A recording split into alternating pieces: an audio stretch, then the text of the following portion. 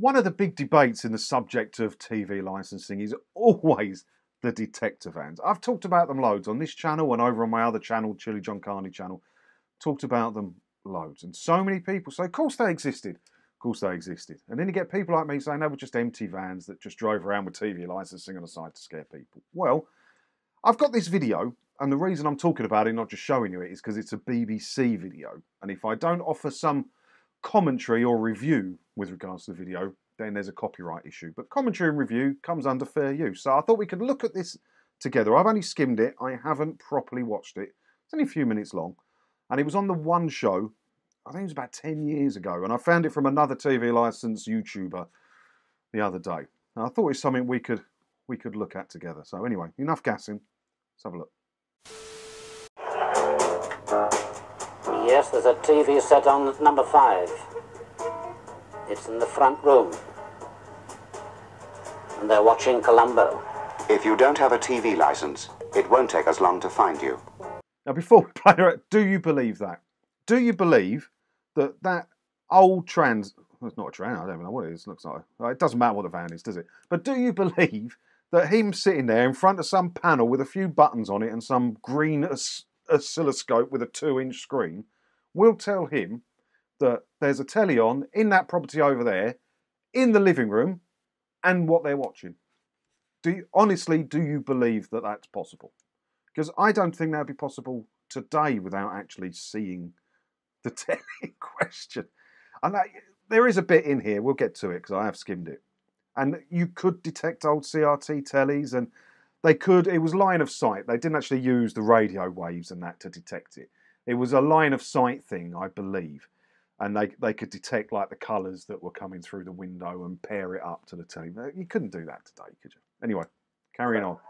The TV detector van has always seemed a bit like science fiction. A van with a man who can see through walls, who can drive up a street and find anybody watching television without a license and then nab them. They don't do that. Ever since the 1920s, the BBC has depended for its income on the licence fee. If you haven't got one, you can be fined a thousand pounds and even get yourself a criminal record. This was the first TV detector, driven by a gentleman in tweed. They were called the Mechanical Sherlock Holmes. Just stopping there again, just briefly, because I, I, I didn't expect any different. This is on BBC One, right? So why would he say anything different to that? If you don't have a license, you can be fined and get into trouble. Of course, that's what he's going to say. It's not the truth, though, is it? What he should be saying is if without a license, you can't watch or record anything that's being broadcast or use BBC iPlayer. But this is BBC One, and they rig the game. The reason so many people pay it is because the BBC won't fully tell the truth about what you can and can't do if you don't have a TV license. Then came these alien vehicles in the 1960s, with a birdcage described as the latest in high tech equipment.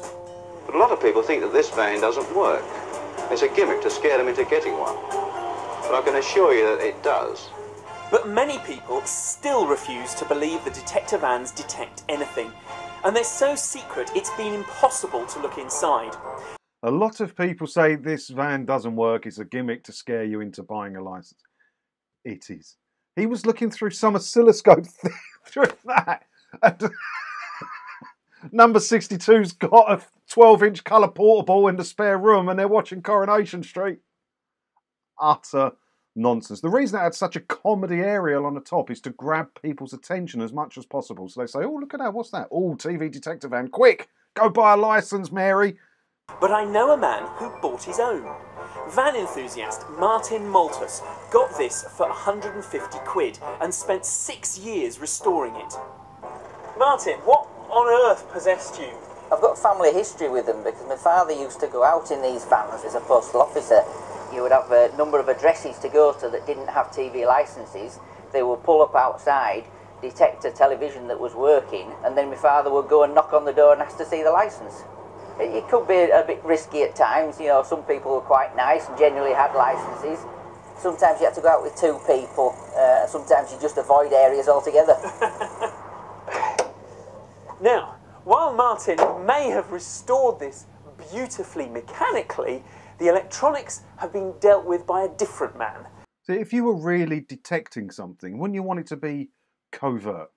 You know, if you were- if you were hiring someone to have a look at your partner because you believe they're cheating on you, would you want them driving around in a van with partner cheating detector written down the side? Of course you wouldn't. They already knew the pro- he admitted there the property was unlicensed. They already knew it. So they park a big television detector van with a comedy spinning aerial on the roof outside your house to scare you into going to buy a license. That's all these are. They're a scare tactic. It's propaganda and it's worked brilliantly because so many people still today believe there are television detector vans. Even though you can have a telly and not require a license in today's day. Yeah, anyway, carrying on. Hello, Jeff. Hi. Uh, we've got a very sensitive receiver here with two aerials on the roof. Okay?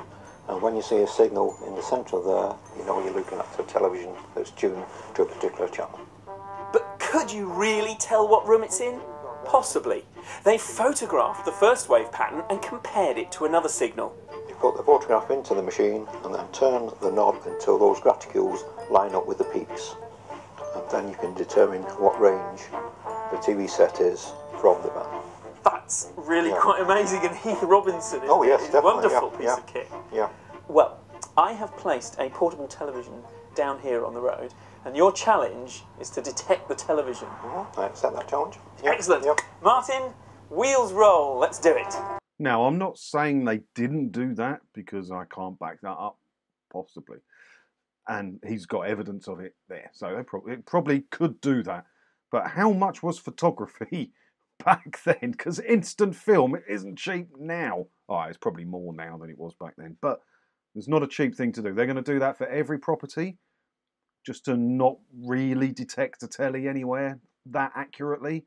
Really? And how's this work in blocks of flats then? How's this work in blocks? How many photos are you going to take for blocks of flats? Can you point those aerials towards floor four or floor five?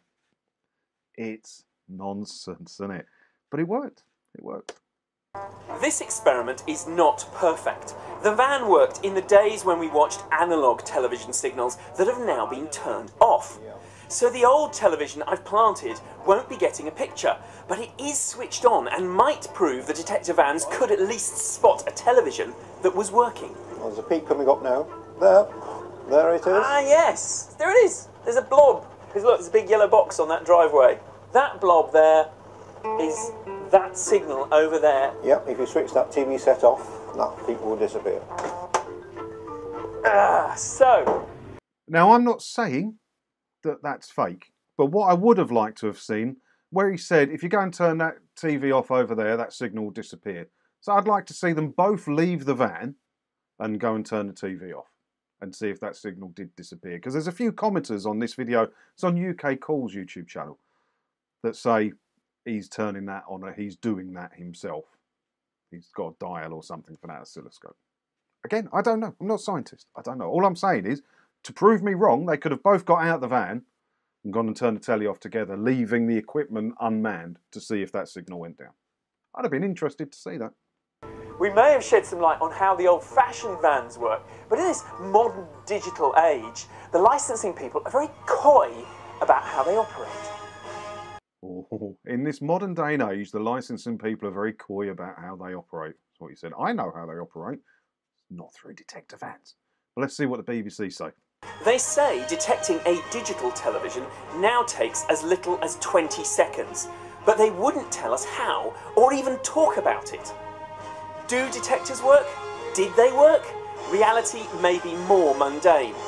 All it usually takes is a reminder call or letter.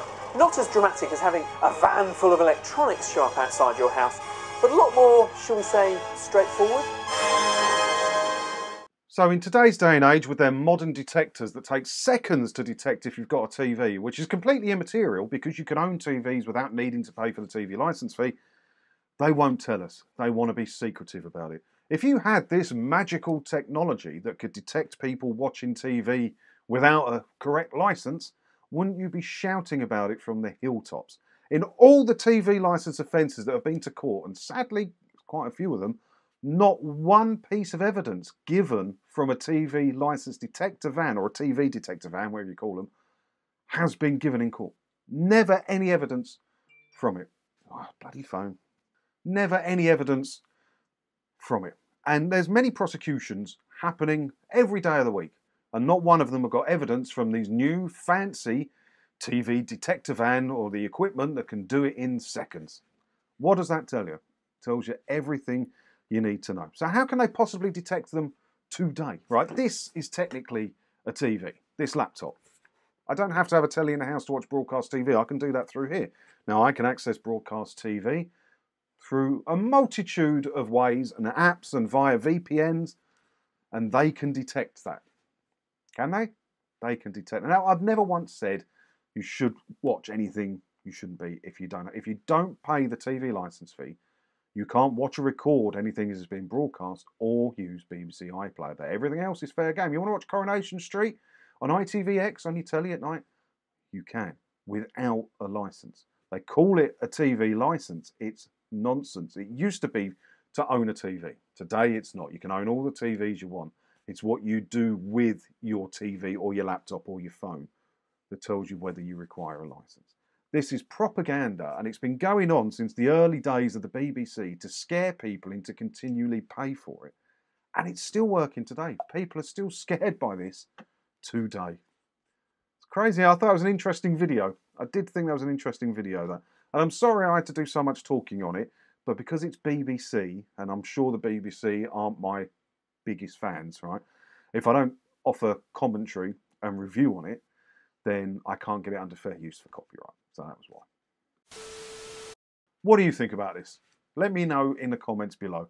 And as always, thanks for watching. And don't forget to hit the subscribe button if you haven't already, because that way, hopefully, I'll see you in another video again soon when I. Ta-da.